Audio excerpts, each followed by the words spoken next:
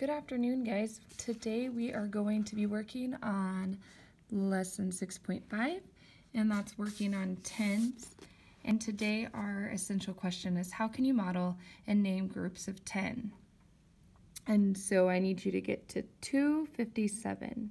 If you need a minute to get there, please pause the video. Um, if you're there, then we are going to move on. It says use cubes to solve the riddle, draw, and write to show your work. So it says, I am thinking of a number that is the same as 110 and four ones. What is my number? So we learned a couple different ways to do this. So first I'm going to use cubes. I already went ahead and put together my 10 sticks. So it said it needs one 10 and four ones. So I'm going to grab my ones right here. One, two, three, four. Can anybody tell me what that number is? If you have one 10 and four ones. So 10, 11, 12, 13, 14. Or we can do this another way. Some of you guys figured it out yesterday. Just like we do every day when we're counting the days we have been in school, we have a tens place and a ones place. Okay, so how many ones do we have? One, two, three, four. We have four. How many groups of 10 do we have? Right, we just have one. So we're going to put it right there. So what is that number? 14, okay? If we rewrote it, it would look just like that. Yesterday, we also learned another way to write it. We could write it one, whoops, one stick and one, two, three, four, just like we should, um, did yesterday.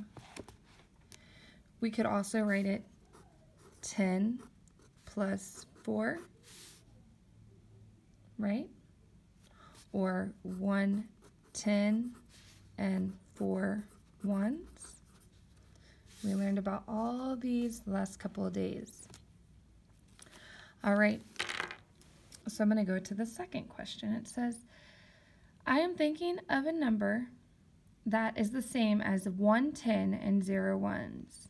So how many tin sticks are we going to need? How many did it say? Right, it said one. So we need one tin stick. And how many ones? Right, it said zero. So we can do this again. We can have our tens and ones. And we had zero ones and one ten, right? We could go write it by just putting one tin stick. We could do 10 plus 0. We could do 1, 10 and 0 ones. Okay, we could write it lots of different ways, but how many are in 1, 10, and 0 ones? 10. The answer is 10. Very good. We're going to go ahead and turn to the next page. And it says, you can group ones to make 10. So kind of like we worked on yesterday, um, we would find, we would count 10, you could circle that group, and then you could um, put them all together like they've done here. So it says, if we have 20 ones, we have 20 individual cubes. 1, 2, 3, 4, 5, 6, 7, 8, 9, 10, 11, 12, 13, 14, 15, 16, 17, 18, 19, 20. There's 20 ones right there. We're going to make those into groups of 10. Here is our first group of 10. We will circle. And then here is our second group of 10. We will circle. So if we were doing this, I would have had all my 20 cubes out. And then I would have put them all together to where I have one tin stick and another tin stick. So two tin sticks is what number? Or how many tin sticks do I have? Two. Very good. And how many ones do I have? Zero. The answer is two tens, zero ones. So if we come over here and we bring our two tins, we're gonna, it says draw a quick picture to show tins. So we could draw this out like we learned yesterday. We have one, two, because we have two tin sticks. So two tin sticks equals 10, 20. Basically, we're gonna be counting by tens if we have 10 sticks.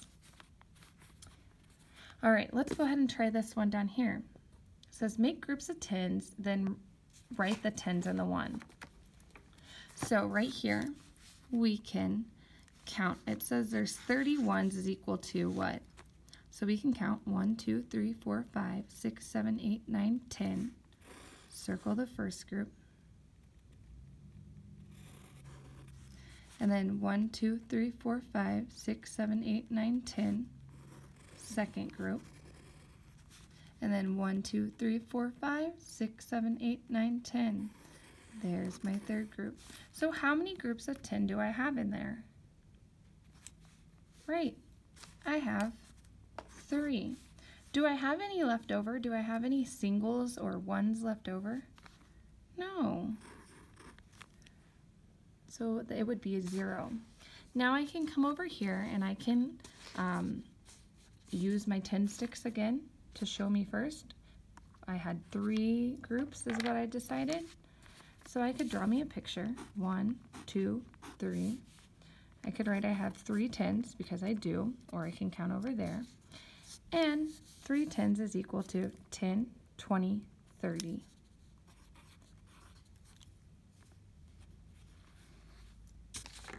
All right, I'm gonna do the next one with you. Okay, number two.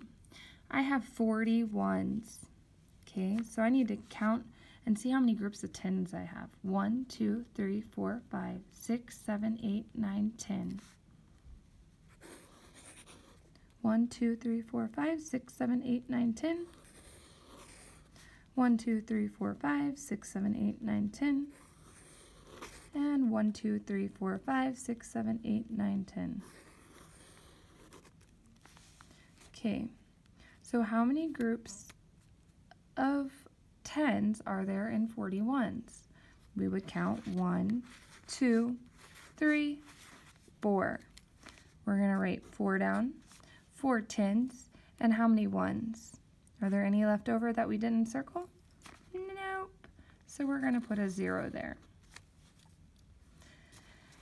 Now, I want you to notice something with this one.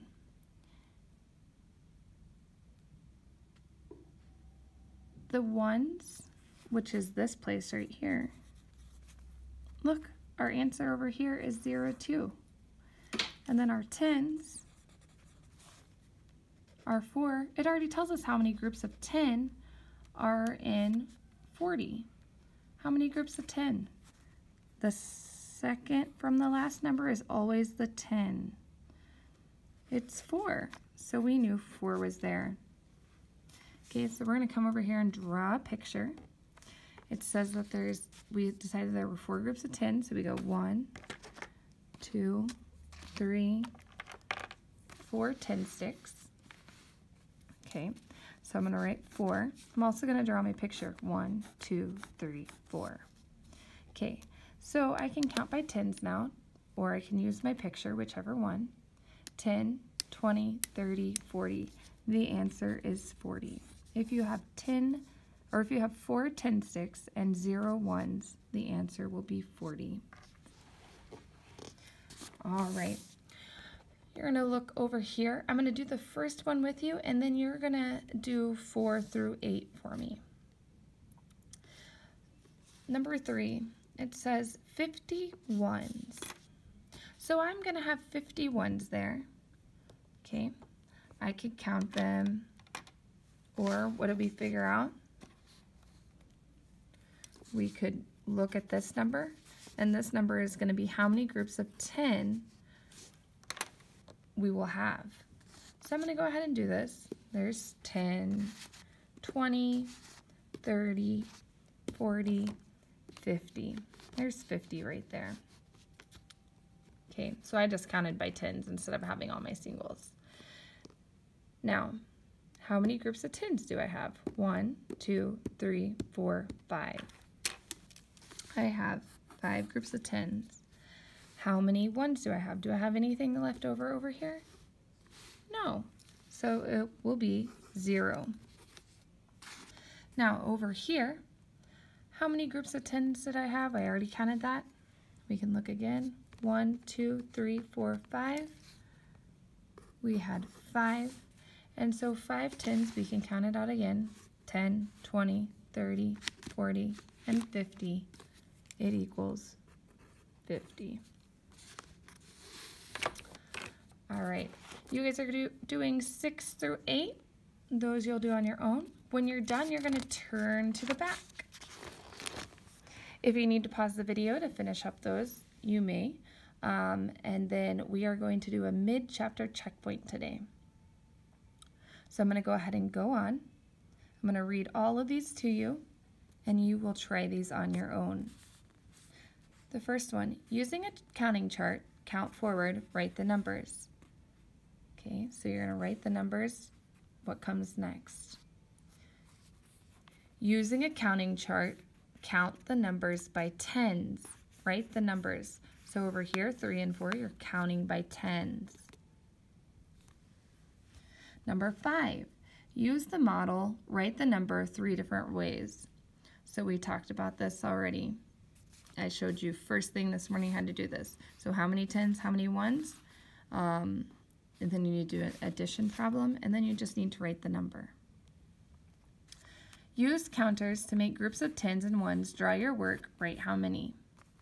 So you're going to draw a picture and then tell me how many tens and how many ones is in that number. And then the last question, it says, what number does the model show? So you're going to count those and then color in the right answer.